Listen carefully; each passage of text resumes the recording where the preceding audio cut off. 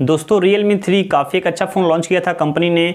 लेकिन दोस्तों, अब इसका अपग्रेड वर्जन इंडिया में लॉन्च हो गया है, जिसका नाम रखा गया है रियल मी फाइव जो कि दोस्तों इसमें आपको काफ़ी अच्छे फीचर देखने को मिलेंगे और काफ़ी अच्छा प्राइस भी इस फ़ोन का रखा गया है।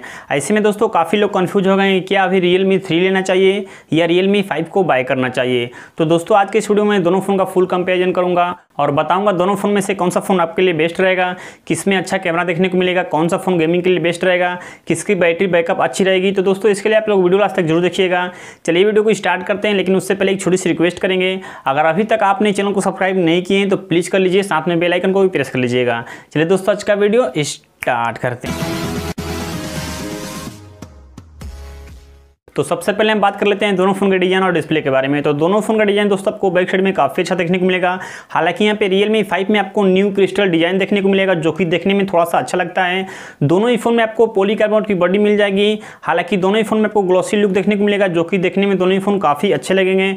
दोनों ही फ़ोन के बैक साइड में ही आपको फिंगरप्रिंट सेंसर देखने को मिल जाएगा। अगर सामने की तरफ़ बात करते हैं तो दोनों ही फ़ोन में आपको ड्यू ड्रॉप का नोस देखने को मिल जाएगा। बात करेंगे डिस्प्ले साइज़ के बारे में तो रियलमी थ्री में आपको 6.2 इंच की, जबकि रियलमी फाइव में 6.5 इंच की एचडी प्लस दोनों में ही आपको डिस्प्ले देखने को मिलेगा, जो कि आईपीएस एलसीडी पैनल रहेगा। दोनों ही फ़ोन में गोरिल्ला ग्लास थ्री का प्रोडक्शन दिया है कंपनी ने। तो कह सकते हैं कि डिज़ाइन और डिस्प्ले में दोनों ही फ़ोन काफ़ी अच्छे रहेंगे। बात करें अगर कैमरा के बारे में तो रियल मी थ्री में आपको बाइक साइड में दो कैमरा देखने को मिलेंगे, जो कि पहला रहेगा तेरह मेगापिक्सल का, जो कि मेन कैमरा रहेगा। दूसरा रहेगा इसमें आपको दो मेगापिक्सल का डेप्थ एनेबल करने के लिए, जबकि रियल मी फाइव में आपको बाइक साइड में चार कैमरा देखने को मिलेंगे, जो कि पहला रहेगा बारह मेगा का मेन कैमरा दूसरा रहेगा एट मेगा का अल्ट्रा वाइड लेंस कैमरा तीसरा रहेगा दो मेगा का माइक्रो लेंस कैमरा और चौथा जो कैमरा रहेगा, इसमें भी आपको दो मेगा का डेप्थ एनेबल करने के लिए दिया गया है।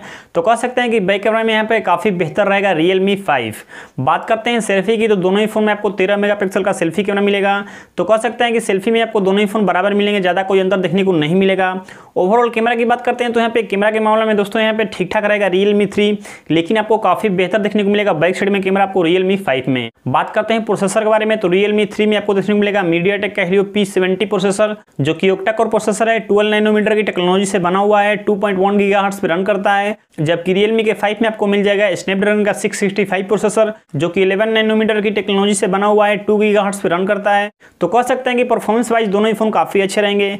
लेकिन दोस्तों, अगर आप गेमिंग के लिए सोच हैं तो यहाँ पे मेरे हिसाब से यहाँ पे बिल्कुल बेस्ट रहेगा रियलमी थ्री जबकि इस रियलमी के फाइव में आप एचडी सेटिंग में पबजी नहीं खेल सकते हैं। तो दोस्तों, इस चीज़ का आपको बिल्कुल ध्यान में रख लेना है। बात करते हैं रेम स्टोरेज के बारे में तो रियलमी थ्री में आपको दो वेरियंट देखने को मिलेंगे, जिसमें पहला रहेगा तीन जीबी रैम के साथ में आपको बत्तीस जीबी की स्टोरेज मिलेगी। दूसरा जो रहेगा, इसमें आपको चार जीबी रैम के साथ में आपको चौंसठ जीबी की स्टोरेज मिल जाएगी। वहीं दोस्तों रियलमी फाइव में आपको तीन वेरियंट देखने को मिलेंगे जिसमें पहला रहेगा तीन जीबी रैम के साथ में आपको बत्तीस जीबी का स्टोरेज मिलेगा। दूसरा जो रहेगा, इसमें आपको चार जीबी रैम के साथ में चौंसठ जीबी का स्टोरेज मिलेगा। और जो तीसरा रहेगा, इसमें आपको चार जीबी रैम के साथ में एक सौ की स्टोरेज मिल जाएगी। दोस्तों, दोनों ही फ़ोन में आप दो सिम एक मेमोरी कार्ड आराम से लगा सकते हैं तो यहाँ पे काफ़ी अच्छी बात है। बात करते हैं ऑपरेटिंग सिस्टम की तो दोनों ही फ़ोन एंड्रॉइड के नाइन पॉइंट रन करेंगे। अगर बैटरी की बात करते हैं तो रियलमी थ्री में आपको देखने को मिलेगा बयालीस सौ तीस की बैटरी तो बैटरी यहाँ पे काफ़ी अच्छी मिल जाएगी आपको रियलमी थ्री में भी। लेकिन दोस्तों, जो रियलमी फाइव है, इसमें आपको पाँच एम की बड़ी बैटरी देखने को मिलेगी। तो यहाँ पे कह सकते हैं कि बैटरी के मामला में बिल्कुल यहाँ पे बाजी मारेगा रियलमी फाइव बात करते हैं अदर फीचर के बारे में तो दोनों ही फ़ोन में आपको फेस अनलॉक का सपोर्ट मिल जाएगा। साथ में दोनों ही फ़ोन में आपको 3.5 पॉइंट का जैक भी देखने को मिलेगा। और साथ में दोनों ही फ़ोन में ओटीजी का भी सपोर्ट मिलेगा। और दोनों ही फ़ोन में डुअल फोर जी वोल्ट एक साथ काम करेंगे। अब मेन बात करते हैं यहाँ पे दोनों फ़ोन के प्राइस के बारे में। तो जो रियलमी थ्री का पहला वेरियंट है, इसका प्राइस है आठ हज़ार नौ सौ निन्यानवे रुपया। जो सेकंड वेरियंट है, इसका प्राइस है दस हज़ार नौ सौ निन्यानवे रुपया। जबकि रियलमी फाइव की बात करते हैं तो इसका जो पहला वेरियंट है, इसका प्राइस है नौ हज़ार नौ सौ निन्यानवे रुपया। जो सेकंड वेरियंट है, इसका प्राइस है दस हज़ार नौ सौ निन्यानवे रुपया, और जो लास्ट वेरियंट है, इसका प्राइस रखा है ग्यारह हज़ार नौ सौ निन्यानवे रुपया। तो प्राइस दोस्तों यहाँ पे काफ़ी कमाल का रखा है कंपनी ने रियल मी फाइव का। अब बात करते हैं दोनों फ़ोन में से कौन सा फ़ोन बेस्ट रहेगा, किस फ़ोन को बाय करना चाहिए। तो दोस्तों दोनों ही फ़ोन काफ़ी अच्छे हैं, इसमें कोई शक नहीं है। लेकिन मेरे हिसाब से यहाँ पे रियल मी फाइव बेस्ट होगा, क्योंकि इसमें आपको एक बड़ी सी डिस्प्ले देखने को मिलेगी। इसका जो बाइक कैमरा है, वो भी आपको काफ़ी अच्छा मिलेगा। साथ में इसकी जो बैटरी है, वो भी आपको काफ़ी बड़ी मिलेगी। तो मेरे हिसाब से यहाँ पे रियलमी फाइव आपके लिए बेस्ट हो सकता है। लेकिन दोस्तों, अगर आप सोच रहे हैं कि इन दोनों फ़ोन में से पबजी के लिए कौन सा फ़ोन अच्छा रहेगा तो कहीं ना कहीं यहाँ पे थोड़ा सा बेहतर ज़रूर रहेगा रियलमी थ्री वैसे दोस्तों, आपको दोनों फ़ोन में से कौन सा फ़ोन अच्छा लगा, मुझे कमेंट में ज़रूर बताइएगा। आप इन दोनों फ़ोन में से कौन सा फ़ोन बाय करेंगे, ये भी कमेंट में बता सकते हैं। तो आज के वीडियो में बस इतना ही। अगर वीडियो चलेगी तो एक लाइक ज़रूर कर दीजिएगा।